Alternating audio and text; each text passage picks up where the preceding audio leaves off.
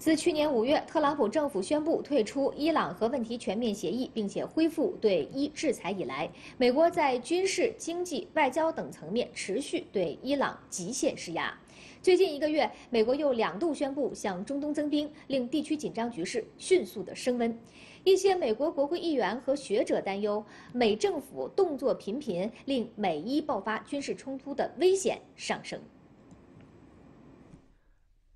美国去年五月宣布退出伊核协议，并恢复对伊制裁。今年四月，美国把伊朗伊斯兰革命卫队列为恐怖组织，宣布将停止八个伊朗原油进口方的制裁豁免，以截断伊朗财政收入来源。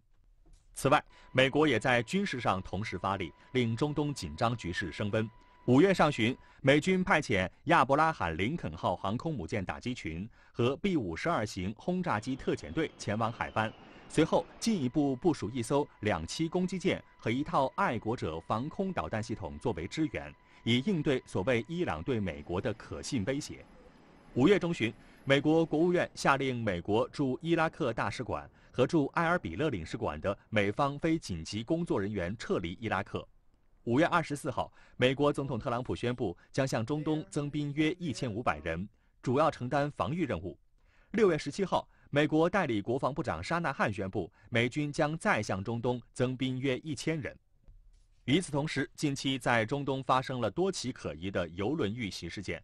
五月十二号，阿联酋外交部说，当天在阿联酋港口城市富查伊拉附近水域发生了针对四艘商船的蓄意破坏行动。本月十三号，又有两艘油轮在阿曼海遇袭并发生爆炸，船上燃起大火。